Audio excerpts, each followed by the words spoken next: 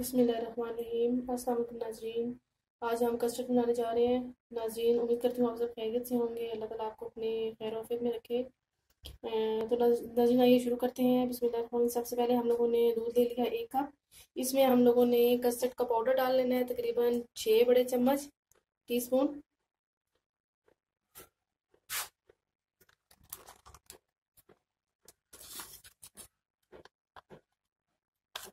बराबर करके डालिएगा, भर के मत डालिए। नाजीन हम लोगों ने ये एक कप दूध ले लिया, इसमें हम शामिल कर लेंगे तकरीबन छह चम्मच।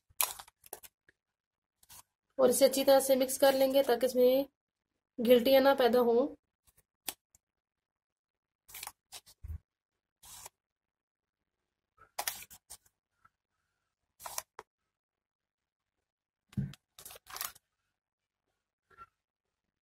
बसमीम नाजिन इसको अच्छी तरह से मिक्स कर लेंगे। बिल्कुल हल्के हाथों से।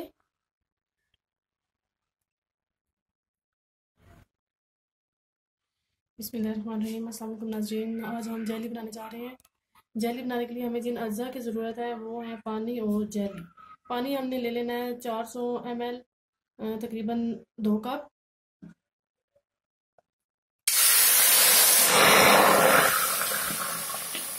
इसे बॉईल कर लेंगे।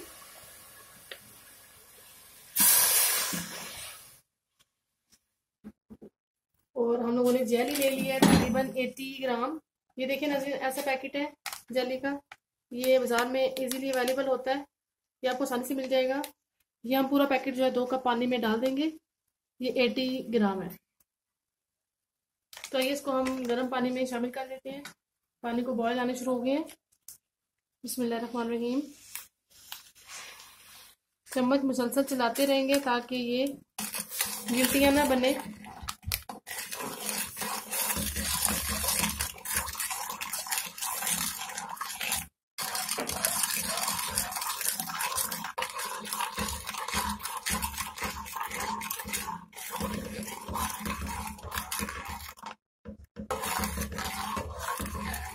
मजीद थोड़ा सा घना हो जाए तो हम इसको उतार लेंगे।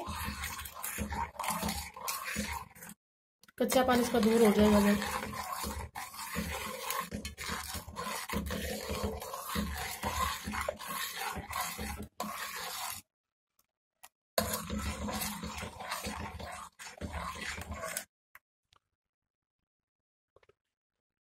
नाजीन, आप इसको सांचे में डाल के मुख्तलिफ़ शेप शेप दे दीजिएगा ताकि इसके मुख्तलिफ़ डिज़ाइन हम आसानी से निकाल सकें। आप इसको ट्रे में भी निकाल सकते हैं। नजीन जल्दी को इतना रख के उतार लीजिए, अब इसको हम बाउल में निकालेंगे याद रखिए स्टील के बाउल में हमने इसको निकाल लेना है।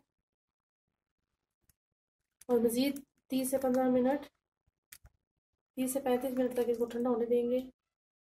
आप कोई सी भी सांचा और या बर्तन ले सकते हैं, लेकिन याद रखिए कि इसको ठंडा होने के बाद ही कटिंग करेंगे।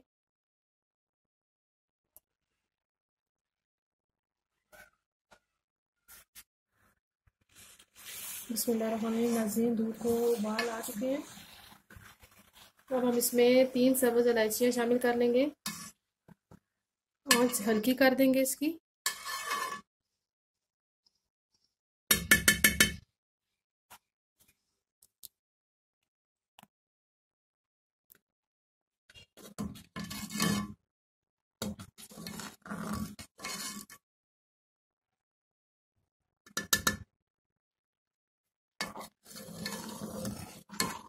इसके बाद नाजरीन इसमें हम कस्टर्ड और चीनी शामिल कर लेंगे।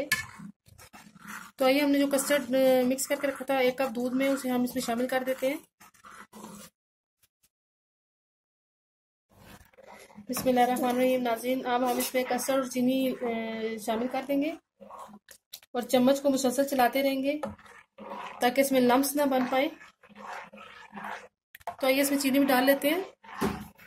नाजिन चीनी, हम लोगों ने आधा कप ले लिया है आप चाहें तो ज़्यादा डाल सकते हैं, मीठा कम और तेज कर सकते हैं।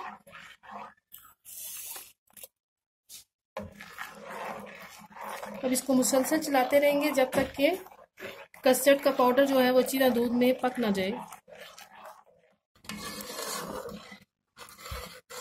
नाजरीन ये देखिए, हमारा कस्टर्ड बिल्कुल तैयार हो चुका है। हम लोगों ने इतना ही ठीक रखना है। इससे ज़्यादा ठीक नहीं करना, क्योंकि ये ठंडा होगा तो ये ऑलरेडी जम जाएगा। ये देखिए इतना। तो ये से हम डूंगों में सर्व कर लेते हैं। और मज़ीद ठंडा होने के लिए रख देते हैं। दस से पंद्रह मिनट तक।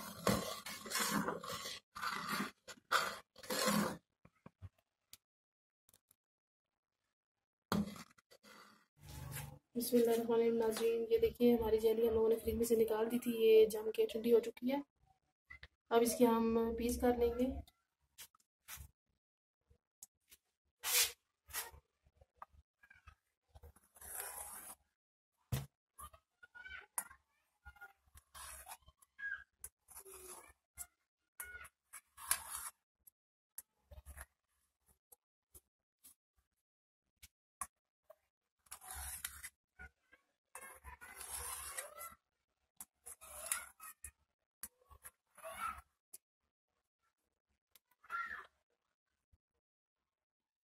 ये देखिए इतनी हम लोगों ने जमा लेनी है इसको इतना ठंडा कर लेना है इसको। ये देखिए कितनी सख्त होगी हार्ड होगी बिल्कुल भी नहीं निकल रही। इसको हम चम्मच की मदद से कटिंग करने के बाद निकाल लेंगे।